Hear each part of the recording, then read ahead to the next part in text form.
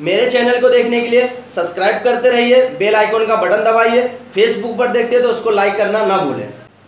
नमस्कार आदाब, दोस्तों मैं लाल मोहम्मद शेख पब्लिक चैनल से।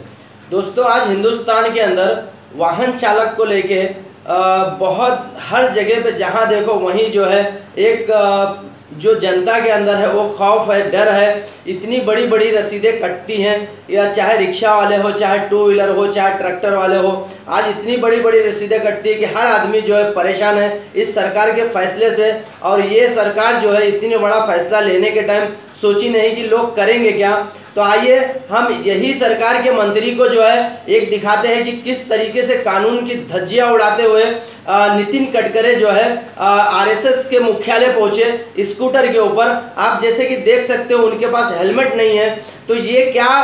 हिंदुस्तान के अंदर ये क्या चल रहा है? ये आप लोग जो जनता है, इसको फैसला करना है, इनको सोचना है। कि एक आम आदमी अगर हेलमेट नहीं लगाता, उसके ऊपर इतनी बड़ी जुर्माना, इतना बड़ा फाइन लगाया जाता है और एक उन्हीं के मंत्री जो है स्कूटर के ऊपर चल रहे, देखिए, उनके ऊपर क्या उनके लिए कोई कानून या उनके लिए कोई कायदा या उनके लिए कोई संविधान नहीं बना है? आप ये खुद फैसला करिए कि ये आप करना क्या है, ये सरकार क्या कर रही है, इनके मंत्री क्या कर रहे हैं। मैं लाल मोहम्मद शेख, फिर एक नई न्यूज़ के साथ हाजिर हूँ जब तक के लिए खुदा